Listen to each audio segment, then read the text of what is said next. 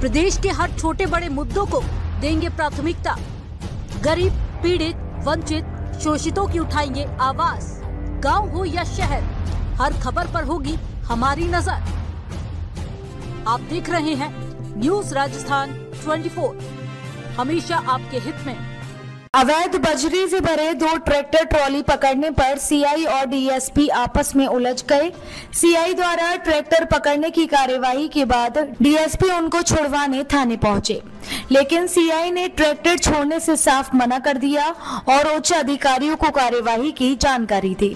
साथ ही खनिज विभाग की टीम को सूचित कर दिया, मामला भिलवाड़ा के गंगापुर थाना क्षेत्र का है। गंगापुर सीआई फूलचंद के नेतृत्व में पुलिस टीम ने सोमवार को आशा होली गाँव के पास अवैध बजरी से भरे दो ट्रैक्टर, ट्रॉली पकड़े और इनको थाने में खड़ा करवा दिया। इसके कुछ देर बाद ही डीएसपी रितेश कुमार पटेल थाने पहुँच गए। डीएसपी ने इन दोनों ट्रैक्टर, ट्रॉलियों को छुड़वाने का प्रयास भी किया, लेकिन सीआई ने उनकी बात नहीं मानी।